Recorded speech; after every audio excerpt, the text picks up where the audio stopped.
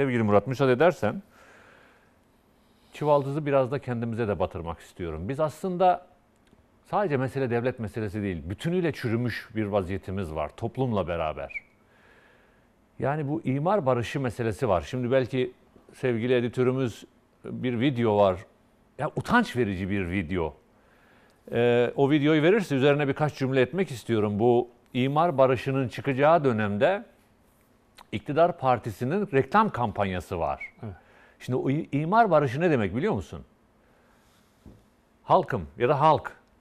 Şunu bir bakalım. Bir, bir, bir dakika böyle bir dinleyelim Evet, değil mi? bir dak- bir dakika, fazla değil. Dakika Hepsi verelim, olmasın. Sonra bir üzerine konuşalım. Evet. Ninelerim, teyzelerim, kardeşlerim, devletten size müjde. İmar barışı geldi. Hasan Bey, Güzel müjdeli haber. nedir bu imar barışı? Devletten vatandaşa uzatılan şefkat eli. Geçmişte kayıtsızca yapılan yapılar kayıt altına alınıyor. Devlet vatandaşıyla helalleşiyor. Ah Hasan Bey ah. Zamanda açıkta kalmamak için bilip bilmeden iki göz yer yaptık. Ama hep ha yıkıldı ha yıkılacak korkusuyla yaşadık. Bizimle helalleşiyorlar mı? Devlet vatandaşın sorununu çözmek için var. Üstelik artık evinize elektrik, su, doğalgaz bağlanabilecek. Hasan abicim, aldığım evin tapusu arsa tapusu. Bizim konutların da tapuları verilecek mi? Bit tabii. Bütün komşular aranızda anlaşınca arsa tapularınız tek tek konut tapusuna dönüşecek. Babam kira dükkanından çıkarılınca evimizin altını iş yerine çevirmişti. Evet. Şimdi bu var ya sevgili Murat. Kelimelerime dikkat ederek biraz dikkatli konuşacağım. Çünkü bu görüntüyü daha doğrusu ben yıllardır gezdiğim bütün konferanslarda çok dinleyenler bilirler. Buna çok vurgu yaparım. Bu aslında devletle toplumun ahlaksızlıkta, hırsızlıkta, yolsuzlukta ittifakıdır. Bu bir ittifak. Bu öbür dünyadan arsa satmak gibidir. Bu insanları göz göze ölüme göndermektir. Bu bu akıl almaz bir şeydir. İmar barışına 12 milyon ev başvurdu. 12 milyon ne demek biliyor musun? Ülke nüfusunun üçte ikisi demek. 60 milyon ortalama 5 kişi aldığımızda 60 milyon insan devlete şunu dedi. Çaldım, yasalara uymayan bir şekilde bina yaptım, kaçak yaptım, başkasının hakkını gasp ettim, hakkım olmayan binayı diktim.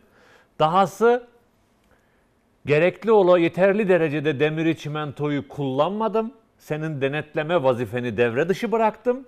Ortaya ucube bir şey çıkardım. Sen şimdi benden kaç lira istiyorsan el sıkışalım.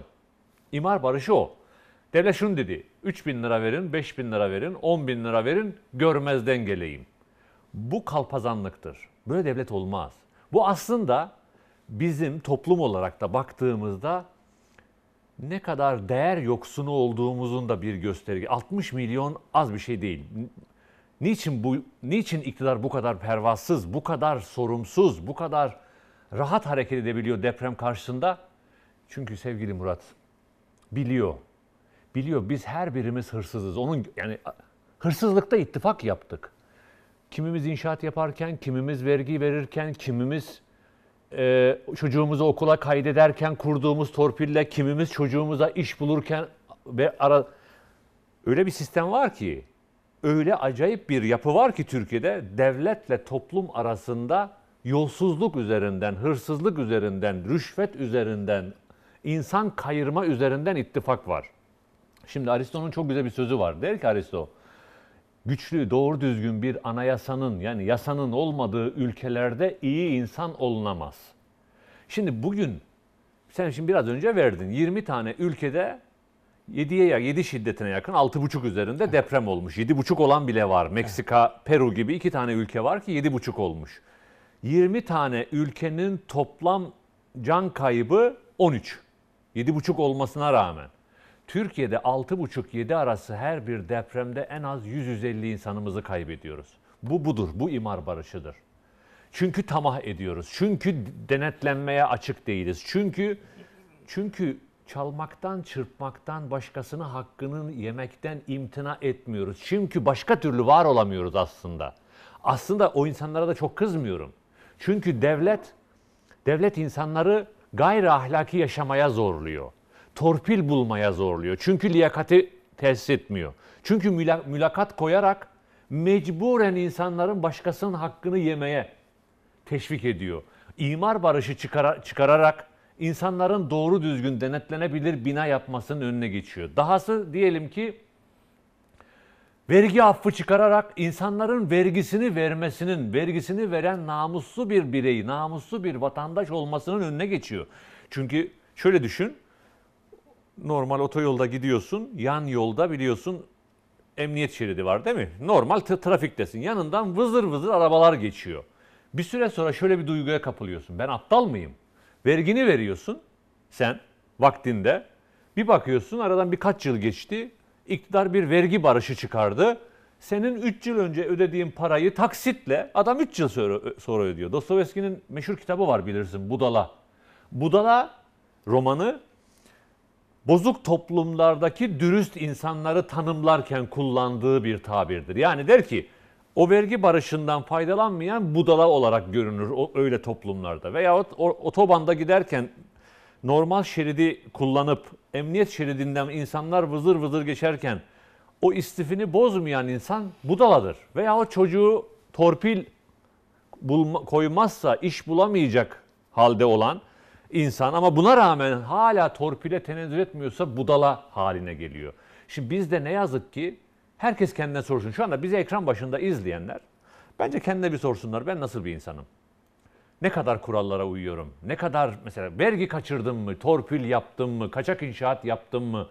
Peki bütün bunlar niçin biz ülkedeki siyasetçilerin bu sorumsuzluğuna isyan etmiyoruz? Normalde 20 tane ülkede 13 kişi ölmüşken Türkiye'de İzmir'de yanılmıyorsam 83'tü ben. 91 kişi oldu. 91'e çıktı. Evet. 91. Bunun hesabını sormuyorsak çünkü biz ortağız ona. Çünkü iktidarlarla, devletle kötülük üzerinden bir ittif- ittifakımız var.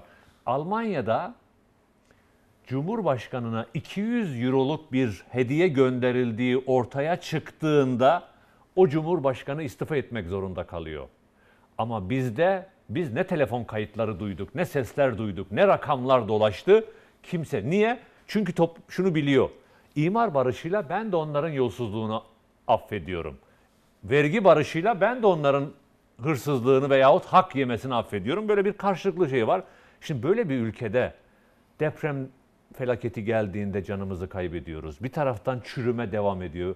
Ya korkunç bir korkunç bir sorumsuz iktidarla o iktidarın sorumsuzluğunun yansıması olarak değerlerini kaybetmiş bir toplumsal yapı var ki bence felaketleri büyüten asıl tablo bu.